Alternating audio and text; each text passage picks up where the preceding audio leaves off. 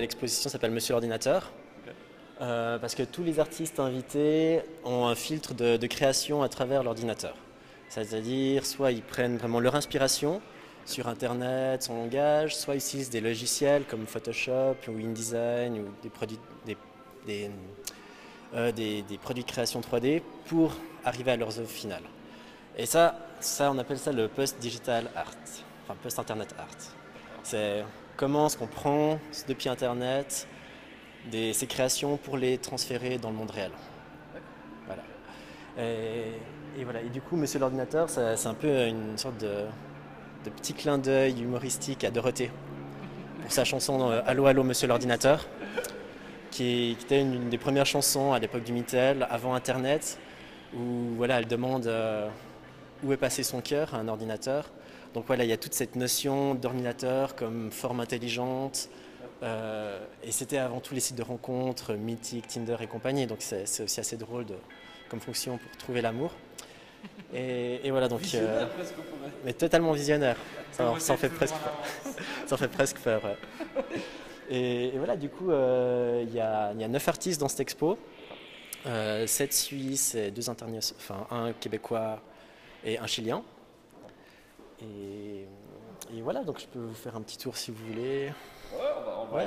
Ben, dites-moi a- C'est- vraiment barré en fait. Enfin, il y a des trucs, on a l'impression. Ça n'a pas été fait à l'eau claire tout ça, si Si, si. Ouais, c'est une, une question qui revient souvent. Bah, justement, ça, c'est la- l'artiste chilien John Jacobson qui fait des gifs. Puis on lui a demandé pendant le vernissage euh, s'il prenait certaines substances pour, euh, pour arriver à sa création. Et non, il est, il est tout à fait normal et un peu boring. C'est son état normal. C'est son état normal.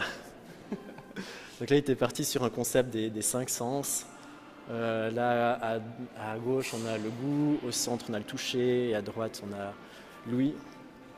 Et en fait, il s'intéresse à l'infiniment petit, l'infiniment grand, et comment nous, en tant qu'être humain, on se retrouve. Donc, euh, donc voilà, on est dans une espèce de micro-organisme en mouvement. D'accord. Et ça, c'est du GIF. C'est du GIF, ouais. C'est de l'image qui tourne en boucle.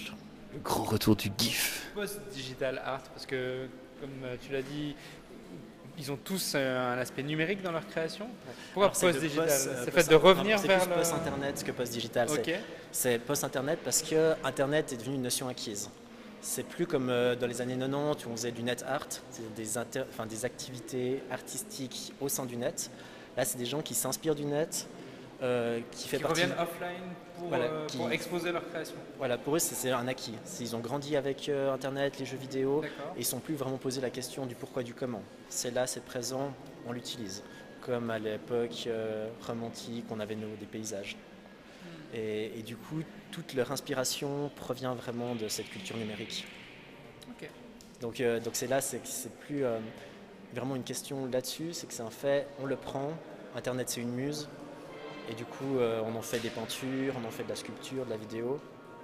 Je pense qu'on va voir un, un début de nouveau mouvement artistique à ce niveau-là, parce qu'en ce moment, Internet, ce bien commun, on va dire, est quand même menacé à plein de niveaux, euh, que ce soit au niveau loi de surveillance, loi de renseignement. On est, on est ici en Suisse, en France, il y a eu récemment des choses, en Suisse, il y a une loi en cours de votation. Euh, est-ce qu'on va assister à une prise de conscience, en tout cas, est-ce que les artistes vont nous guider vers ça, vers le... C'est pas forcément autant acquis qu'on le penserait? Euh, Alors je, je pense pas que les, les artistes vont changer quoi que ce soit, je pense qu'ils vont continuer de s'adapter, quoi qu'il arrive, à leur environnement. Et puis, euh, et puis si ces, ces questions d'Internet vont changer, la manière de travailler des artistes, de certains artistes, changera avec elles. Et puis il y aura de nouvelles réflexions qui vont se poser, et puis euh, je pense que ça va avancer comme ça. Mais euh, L'exposition est, ici jusque quand? Jusqu'au 5 juillet, Et l'entrée est à 5 euros, c'est ça? J'ai vu à l'entrée. en Suisse. Caramba Merci Avec plaisir.